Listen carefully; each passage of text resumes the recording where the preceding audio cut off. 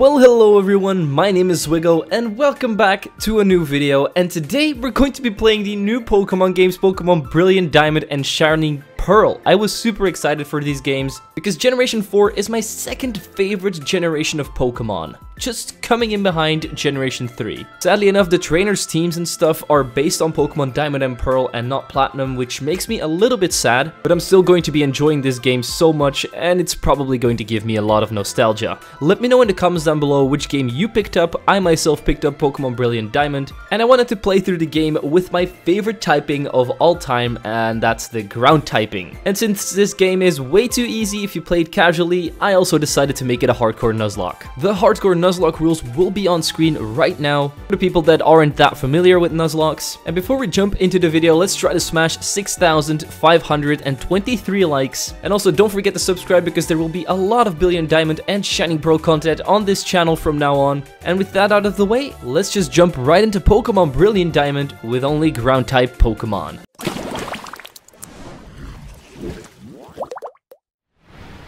We first meet up with the professor of this game, Professor Rowan, and look how good he looks in 3D. Definitely not simping for him, but we jump right in and name ourselves Zwiggo, and our rival is going to be named Tyson. Yes, we will indeed be fighting Mike Tyson throughout this entire game. We then jump right into the world of Pokemon and see some weird documentary on TV. But that's not why we're here. Look at this cute chibi form of Lucas. I'm not gonna lie here, I was not a big fan of the chibi models at first, but when I played through the game, I basically started to love them. We then mess around with the settings a little bit and put our battle style on set and also change our window to this nice blue one. We then go out into the world of Pokemon as our mother sends us off. As we then enter our rival's house, we get thudded but in 3D. This was definitely the moment that I looked forward the most to. Also, Tyson's mom is kind of a mood. We set our first steps in the wild and meet up with Professor Rowan and Dawn, who, of course, like always, forget their briefcase. This time we're going to get to pick another starter, and we're going to go with Turtwig since his final evolution will be Torterra, a part ground type. Turtwig is probably my least favorite of the three starter Pokemon in this game, but let me know in the comments down below what your favorite of the starter Pokemon in Sinnoh is. After beating up the little Starly with some tackles, we then meet up with Professor Rowan and Dawn once again. We're thinking that they're going to take away our Pokemon, but they actually just leave us with them, which is kinda cool. Since people back in 2007 had no idea how to run without running shoes, we're still going to have to pick them up in this game too. Then have our first ever visit to Professor Rowan's lab and we get to name our Turtwig and I decided to name him Dwight because I've been watching The Office too much lately. After then heading back to our moms and getting ourselves our beloved hat, we can finally jump right into the world of Pokemon without any more restrictions. We learn how to catch a Pokemon with Dawn because, yes, we did not know how to do that yet. We also go to the trainer school because I wanted to pick up the TM for Hidden Power, but apparently after beating the two Abra trainers, you get the TM for Workup which is also something I'm not going to complain about. We also get ourselves the Poketch, which isn't on screen all the time anymore, and you can just open it up whenever, which I think is really cool. We then try to reach Oreburgh City, but we get stopped by Tyson again. He actually has two Pokemon that would be super effective against my Turtwig, but since I could just set up a workup and then tackle both of them,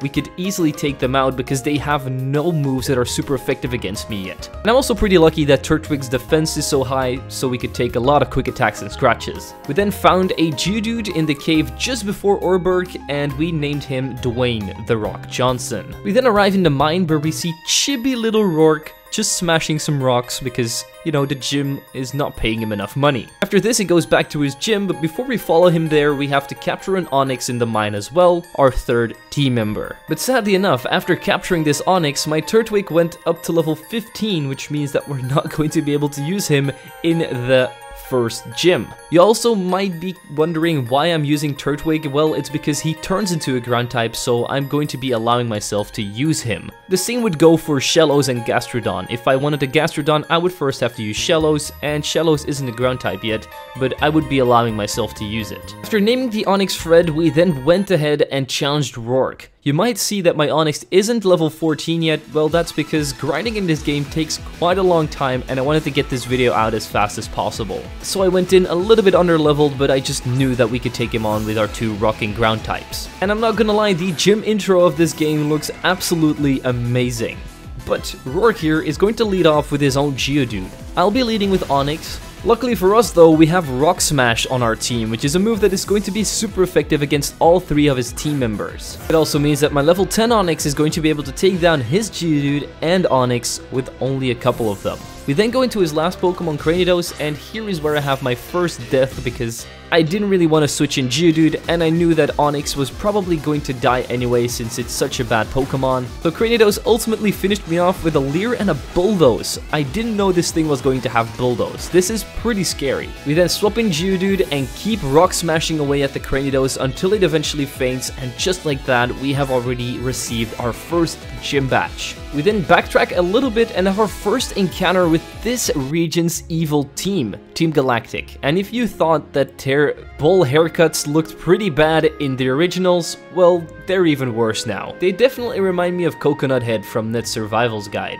Anyway, their team is pretty weak and we have Dawn to help us out so this battle was no problem at all. After fending them off, it's time for us to go to the nicest place in this entire region, the Floaroma Gardens. Here I save this man from Team Galactic and he gives me some honey which I can slather in trees, but since there is only one ground type that you can get from these trees, the ground type Wormadam, we're not going to be doing that because Wormadam is really not that good and we don't have time for it either. We then go to the Valley Windworks where we see a little chibi Mars here, and I'm not gonna lie, how are we going to take Team Galactic seriously when they look like this? Well, it doesn't really matter because she only has two Pokemon, one of them being Zubat, which Geodude takes out with two rollouts, and the last one is her big fat cat, Purugly. And yes, it looks even uglier than in the originals. Luckily for us though, our Geodude was able to hit a couple more rock smashes before having to swap out back into Turtwig because otherwise my rock was going to die. And Turtwig could then KO the Purugly with two more Razor Leaves. We then reunite the daughter with her smelly dad. And the next stop on our journey is going to be Eterna Forest, but before we get there, we evolve our Turtwig into a Grotle. Eterna Forest is now in our sight, and as we enter it, we meet up with Cheryl. In a regular playthrough, this is the perfect spot to grind up or maybe even shiny hunt a couple of Pokemon, but right now, we're just going to have to run through it pretty quickly because we don't want to overlevel our Pokemon for the next gym battle. There's a lot of stuff we have to do before we can take on Gardenia in the next town. First we pick up the Explorer Kit because now we're getting to the best part of this game, the underground. While normally the underground in Pokemon Diamond and Pearl is just a place to dig up some fossils and spheres, well here you can actually encounter a lot of Pokemon in different kind of caves. And luckily for us, there are a couple of ground type Pokemon that we haven't caught yet and can only capture down here. First Pokemon I encountered that we could get was Gastrodon, a water ground type which is pretty damn good. After capturing it, we named it Shelly and added it to the team. Before we get even more Pokemon, I decided to go and do some digging first. We got ourselves a couple of nice little items like a Draco Plate, which will be amazing for Garchomp, but we also got these new things called statues. You can place them in your base and once you place them down, they will actually increase the odds of that Pokemon's type to be encountered in the new caves. So after getting a couple of ground type statues, I went ahead and scoured every cave that I could. And so I managed to capture myself a Rhyhorn, which I named Manny from the movie Ice Age. I know Manny's technically a mammoth and Rhyhorn is a rhinoceros, but still he kinda reminded me of him. And the coolest kind of cave in my opinion that I've encountered personally is the volcanic cave.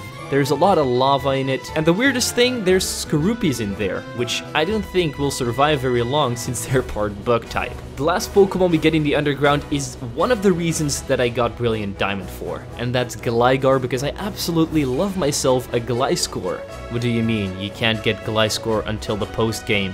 Why? Game Freak, why did you not place the Razor Fang in the spot that it's normally in? I guess we'll just be rolling with Gligar throughout the entire playthrough then. I don't mind though, Gligar is still pretty cool and very useful as a ground flying type. We named our little flying boy Wendy, and then digged our way back up to the surface level where we met up with Chibi Cynthia. She doesn't really look as menacing now, does she?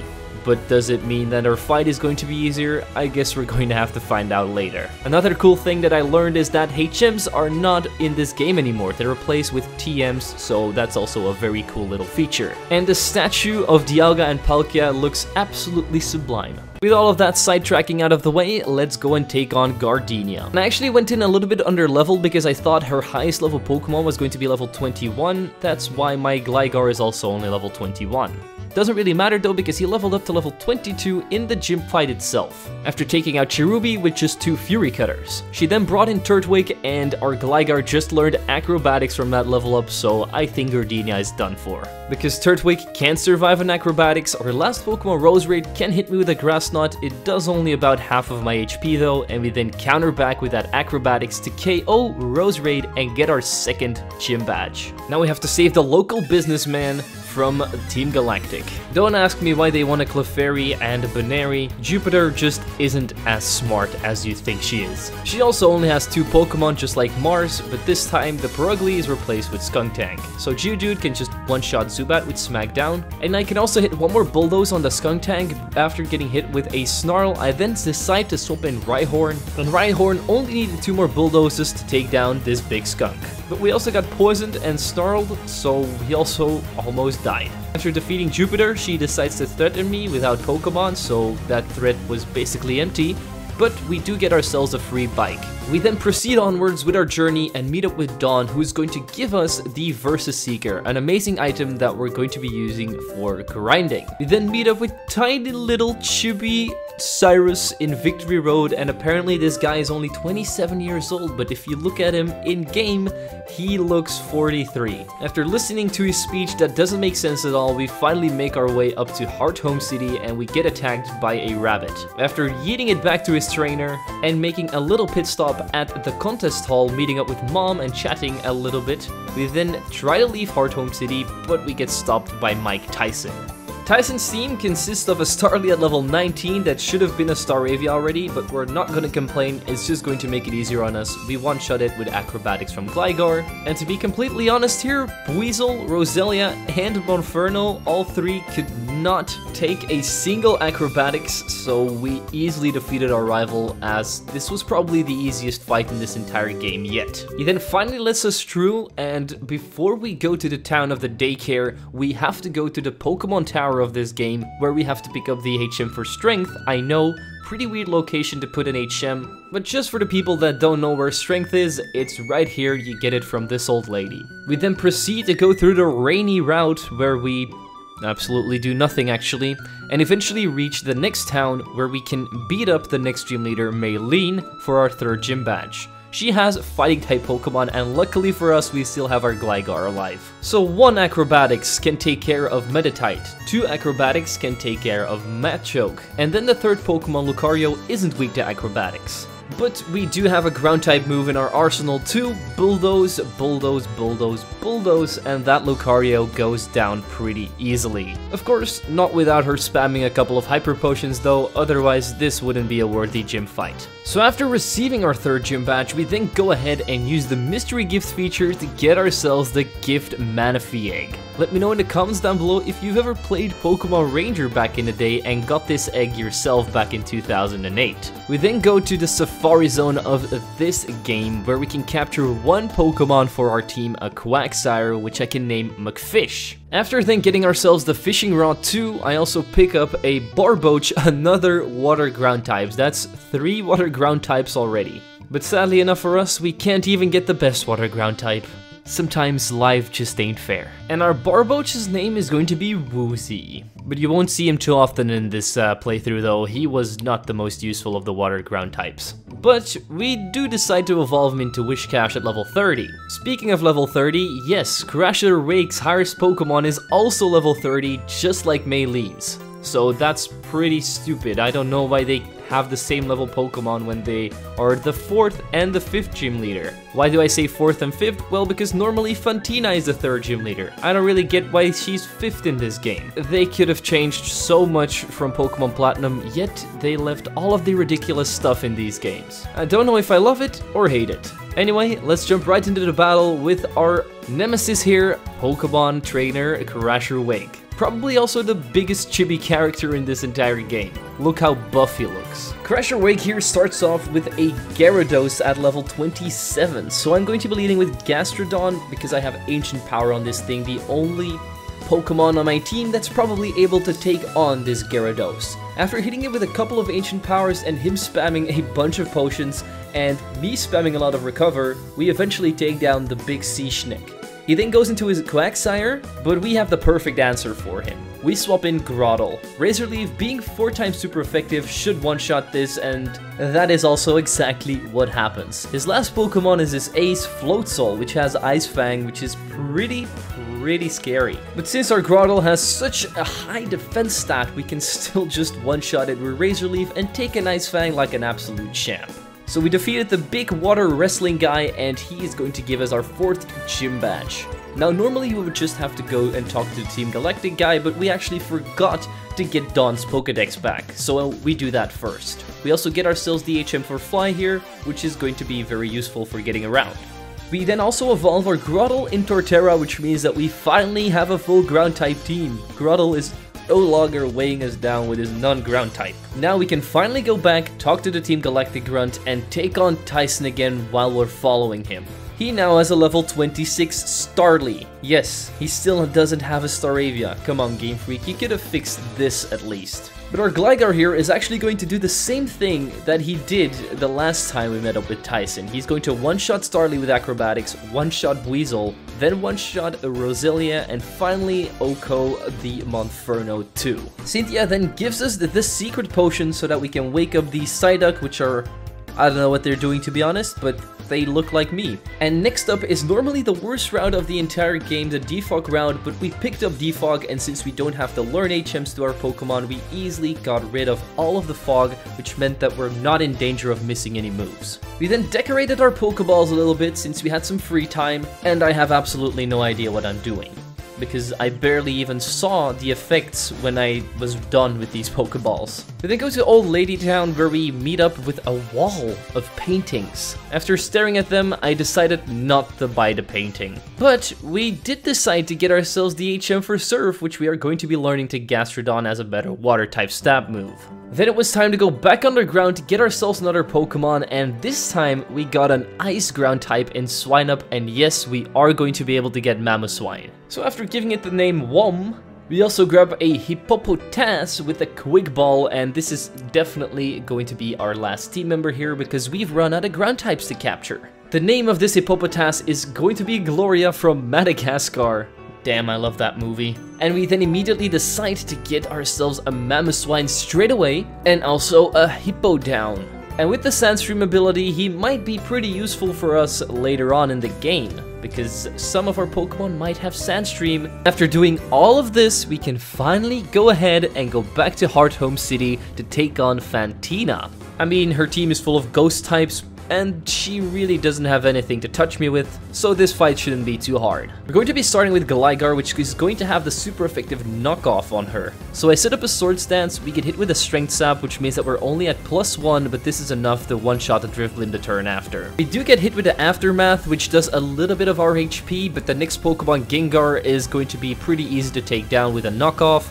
Oh wait, it isn't, because it has a berry which weakens Dark-type moves. So the turn after, I swap in Mamoswine to take out the Gengar with an Ice Shard. Now her last Pokemon will be Mismagius, and since I'm confused and hit myself in my confusion, I am going to be swapping out Mamoswine before he's dead. And I swap in Gastrodon instead, but this thing apparently has Magical Leaf, which I forgot, and yeah, Gastrodon gets hit pretty hard, so I have to get it out of there. Torterra comes in after, I then put a Leech Seed on the Mismagius, I get hit with a couple more Magical Leaves and Dazzling Gleams, but after that I can hit two more Razor Leaves to take down the Big Hat. This gives us the power of the 5th Gym Badge, which means that we can now cross the sea with Surf. And then also a pretty cool feature in this game, if you use an HM, a Bidoof, a Bibarel, or a Staraptor will come along and help you. And if you use Surf, you'll be surfing on a Bibarel.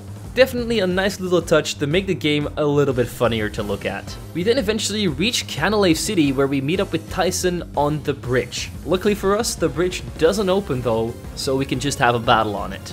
He now finally has his Staravia, so I'm going to be leading with my Mamoswine and just kill it with a single Ice Shard. For Heracross, I'm swapping in my 4 times super effective Gligar with Acrobatics to kill it. This Gligar can then also one-shot Buizel with Acrobatics. Yes, this is going to be the same just like the last two times. Roselia with Acrobatics and then the final Pokemon Monferno also with Acrobatics. I know he probably should have evolved all of his team members by now, but hey, this was just an easy battle for us again. And as we all know, we have to take on the next gym leader, Byron next, the father of Roark. And Roark, as you may know, killed one of my Pokemon, so we're going to be taking revenge by taking on his father and killing all of his Pokemon. Since he has Steel types and we have Ground types, this should absolutely be no problem. He does start off with something that is immune to Ground, a Bronzor. So I set up a Swords Dance with my Gligar and then hit a knockoff, but I get confused by Confuse Ray. So I decide to set up another Swords Dance, I then hit myself in my confusion, get hit with a Flash Cannon, I then snap out of my confusion and finally kill the Bronzor with another knockoff.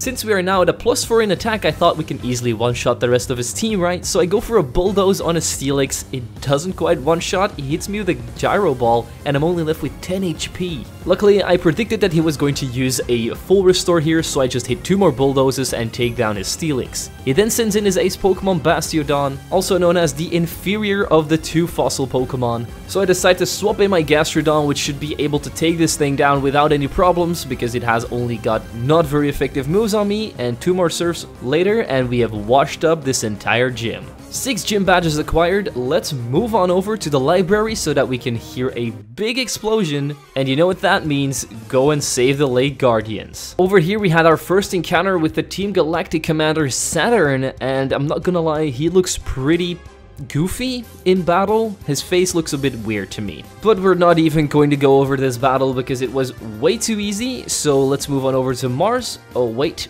she was the same amount of easy as Saturn. So let's just save Dawn and the Lake Guardians, which are apparently taken already, so we failed our mission. But we've only managed to take out two of the three lakes here, so we have to put on our winter pants and go through the snow because we're heading to Snow Point City, baby. I almost got stuck in the snow because you literally fall into it in this game, which looks pretty cool because you're so tiny and small and the snow is so big.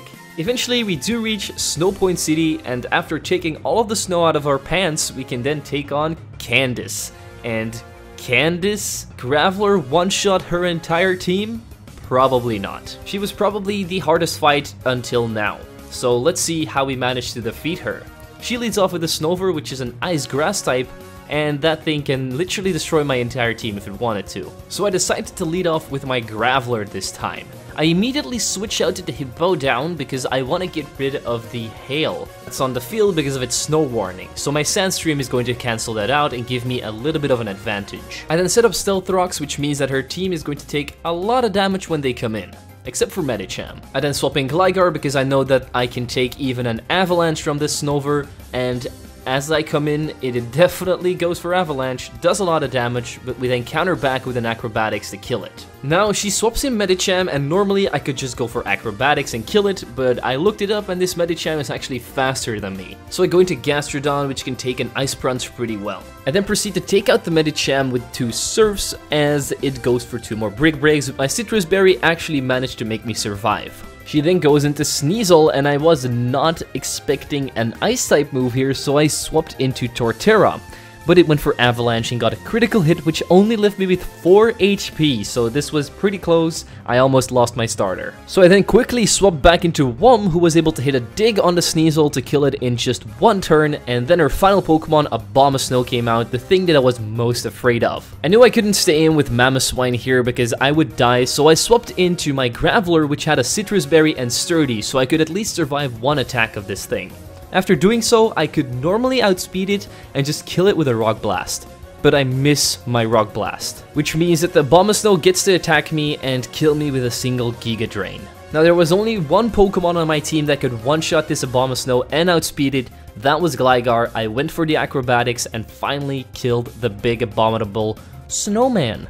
As you can see, we had a lot of close calls in this fight, and we also had a death, so yeah, definitely the hardest battle in this game so far. Remember when I said that we weren't going to add any more team members to the team? Well, I was wrong. There was one more Pokemon that we could add, and it was the best one that we could get, Gible. Oh yeah, we're getting Cynthia's mean mean killer machine on the team. Randy here is going to be super useful, but first he's going to have to become a guard Garchomp. So, now, before we can continue to the final gym leader, we have to do some story stuff.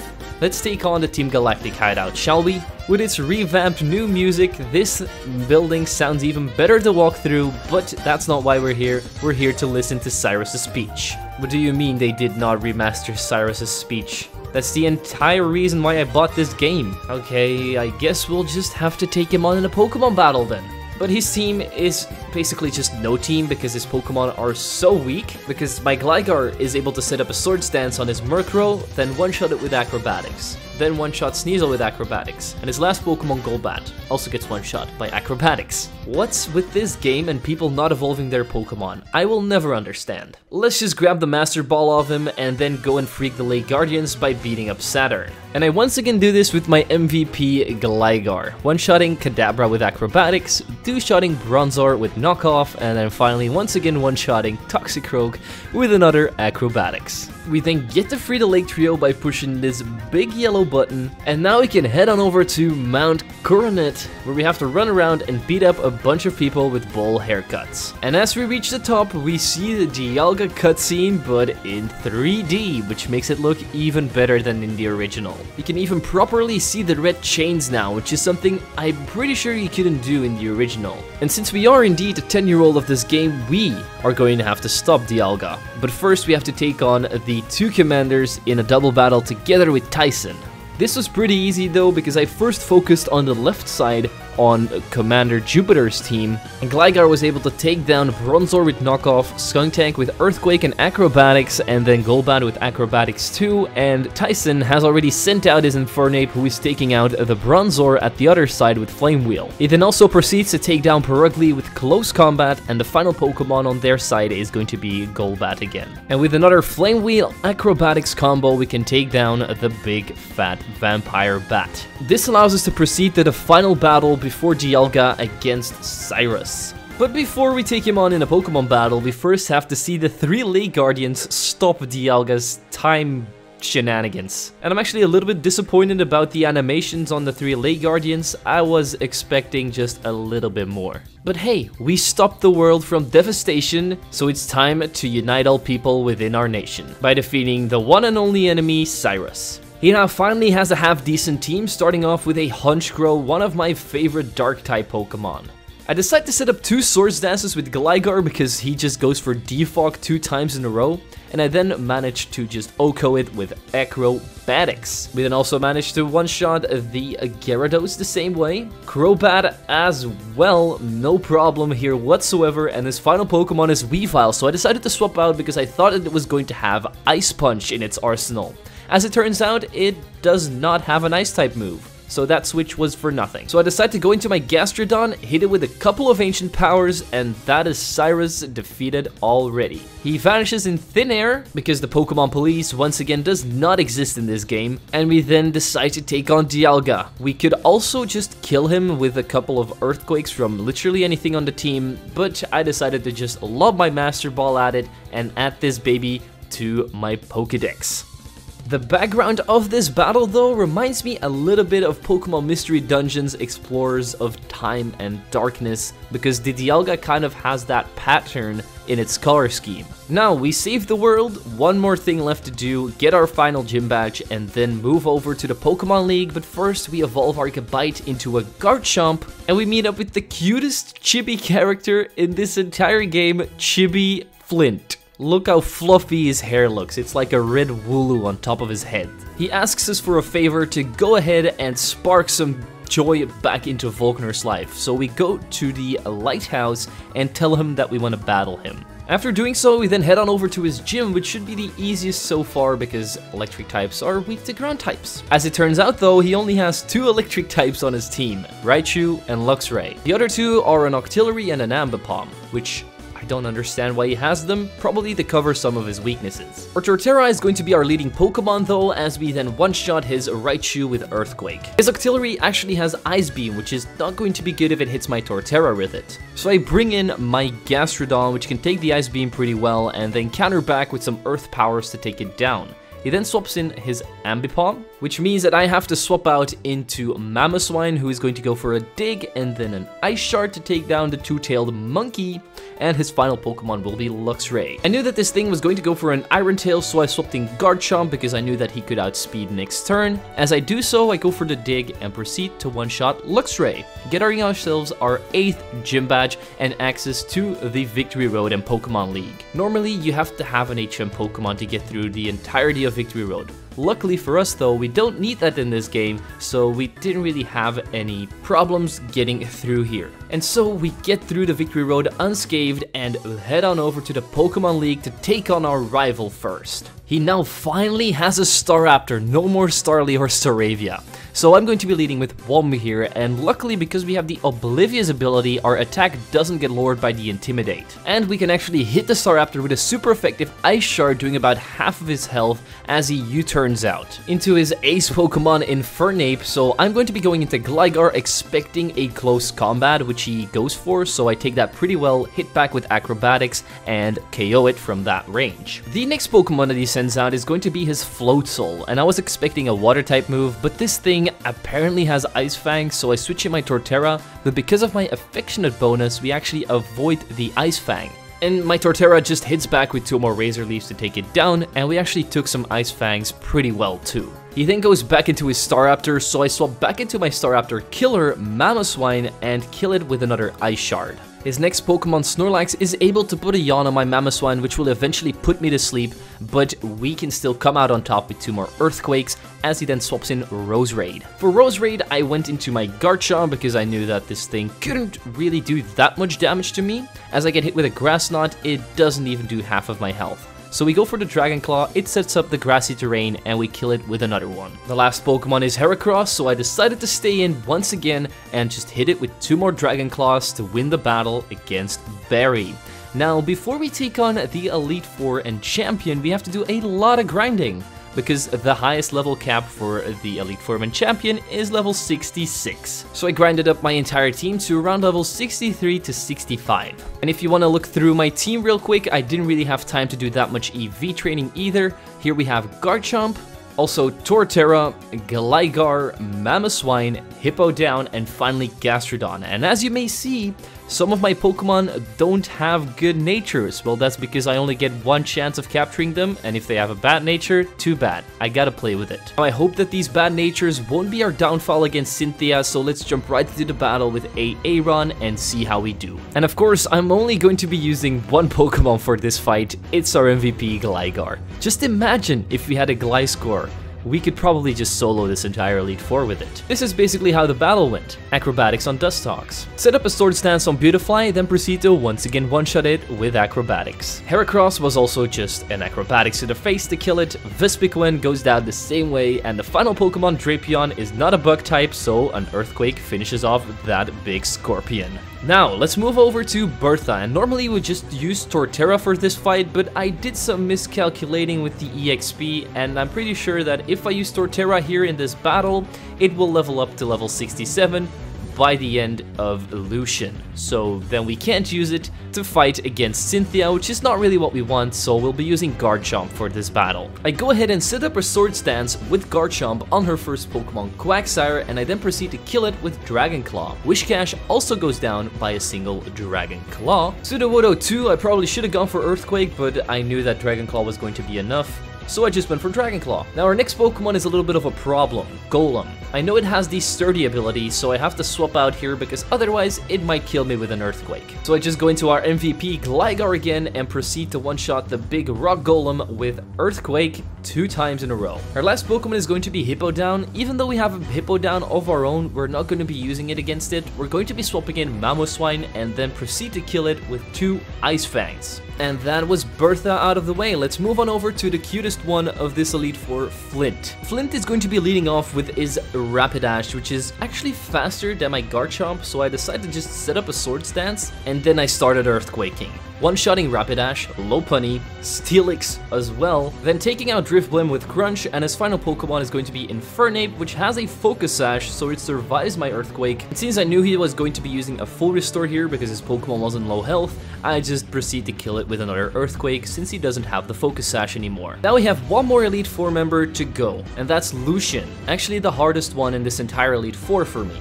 He leads off with a Mr. Mime, so I'm once again going to be leading with my Garchomp. I set up a Swords Dance again because I knew this thing couldn't one-shot me, and for some reason he doesn't set up a Reflect, he sets up a Light Screen, so I'm good.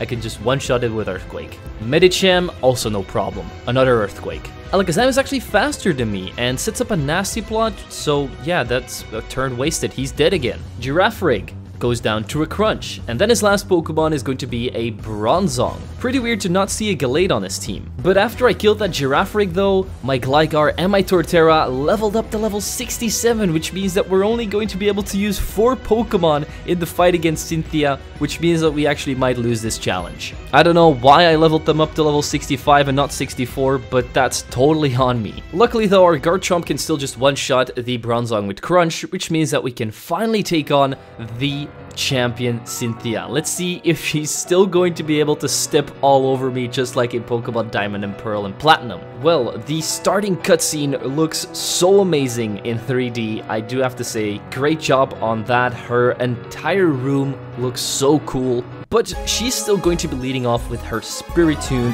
and her entire team actually has perfect IVs and EVs. And my team doesn't, so yeah, let's see how this goes we once again lead with Garchomp. Set up two Swords Dances on the Spirit Spiritomb, and as it gets me down into orange health, my Berry activates, giving me a lot of HP back. This ensures that I can probably take a hit from anything, except for her Garchomp or my Milotic.